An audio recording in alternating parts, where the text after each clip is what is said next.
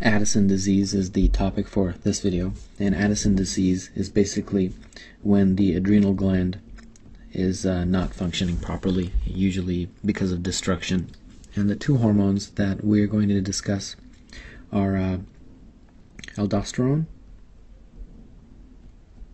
and cortisol. So, in Addison's disease, you have basically uh, deficiency of the adrenal gland, so you'll have low levels of these hormones.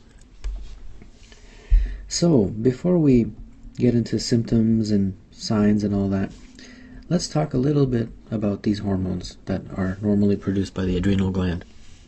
What does aldosterone do? Well, aldosterone normally increases the sodium level in your blood and decreases the potassium level. Uh, cortisol normally is responsible for increase, increasing glucose levels. Now, in Addison's disease, because you have a deficiency, you will have the opposite results because these hormones are either absent or very low in number. So, in Addison's disease, you will have hyponatremia, low sodium levels in the blood, and you have hyper, and you will have hyperkalemia.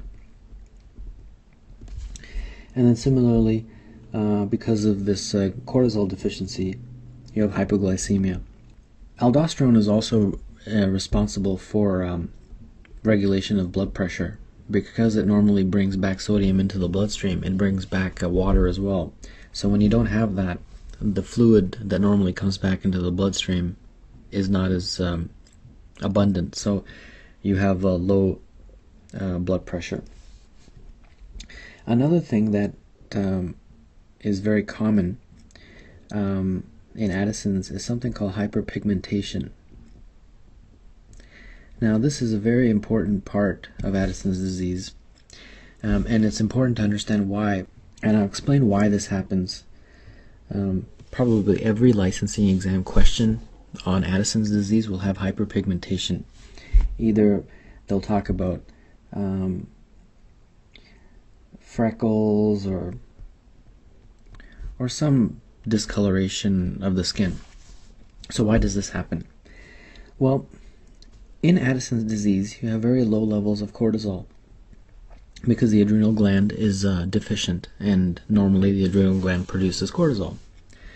So what happens is the adrenal gland normally has a negative feedback uh, to the pituitary. To the pituitary gland. So when the adrenal gland is working normally and you have normal levels of cortisol, there's a negative feedback that goes back to the pituitary and says, look, we don't need any more cortisol. In Addison's disease, what you have is you have very low levels of cortisol. So this negative feedback doesn't work. So as a result, the pituitary keeps making ACTH in high quantities because it no longer has the negative feedback regulation. Now here's the, the most important part. What happens is, before ACTH is produced, there's a gene that's produced called POMC. And this gene is actually later broken down into two separate hormones, MSH and ACTH. So when you have increased levels of POMC, you have increased levels of MSH and ACTH. That's what later goes to, to the adrenal gland and stimulates the adrenal gland to produce cortisol and uh, aldosterone. Um, but in Addison's disease, the adrenal gland is unresponsive. But the POMC gene also produced another uh, hormone, and that is MSH. And what is MSH? MSH is melanocyte stimulating hormone. And that is the hormone that causes the direct hyperpigmentation. So, very important uh, point to remember. So now we have diagnosis. Well, the diagnosis is directly related to all the hormones involved. So because we have low levels of aldosterone, your uh, blood test will show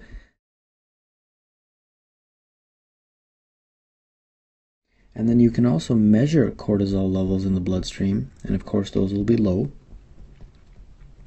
And you can also measure ACTH levels, and those will be high. And then there's one other diagnostic test, it's called the ACTH stimulation test.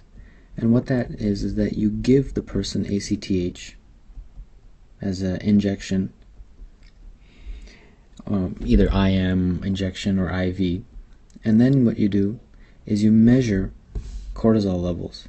And in Addison's disease, cortisol levels will remain low. Why? Because the ACTH that you've given them is not able to act on the adrenal gland because the adrenal gland is simply not functioning. So that's the ACTH stimulation test. And then finally, the treatment is very straightforward. You give replacement of the hormones that are deficient. So we were deficient in um, aldosterone. So you give fludrocortisone, and this is a a um, mineralocorticoid that's given to replace aldosterone. And then you give hydrocortisone.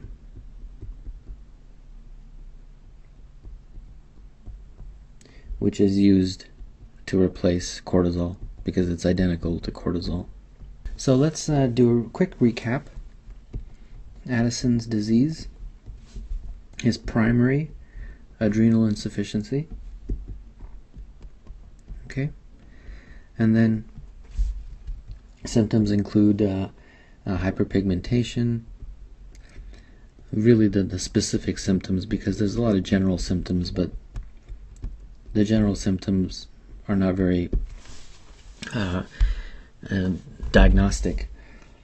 Lab tests will show uh, elevated um, potassium, low sodium, uh, high ACTH levels, and low ACTH, and uh, low cortisol levels. And uh, the treatment is basically by giving the replacement of the uh, hormones that they are not able to produce, so hydrocortisone, fludrocortisone. All right, great. So let's get into some clinical vignettes and let's take a look at what this looks like in a patient presentation. 53 year old man comes to the physician because of progressive weakness and weight loss. He says that he's begun noticing areas of skin getting darker, even though it's winter and he's never been in the sun. He takes no medications and has no medical conditions. Physical exam shows abnormalities, no abnormalities except orthostatic hypotension and hyperpigmentation of the skin. Lab studies are as follows. What is the most likely diagnosis? Well, this is low. Normal is 135 to 145. Normal. This is high. Normal 3.5 to 5.0. So we got hyper uh, and hyponatremia, hyperpigmentation, low blood pressure. Most likely He's got Addison's. Next one. A 45 year old woman with AIDS and disseminated histoplasmosis complains of profound weakness, fatigability, anorexia, weight loss, diarrhea. Lab investigation revealed a serum sodium of 132, which is low, and a serum potassium of 5.8, which is high.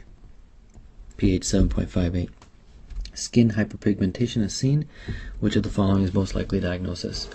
Another question, pretty much very similar, uh, very diagnostic for primary adrenal adrenocortical insufficiency, also known as Addison's disease. And finally, a 42 year old woman with no history of prior surgery complains of extreme weakness and fatigability that has persisted for the past five months. She reports nausea and vomiting, cramps, and has trouble keeping solid foods down. She's hypotensive.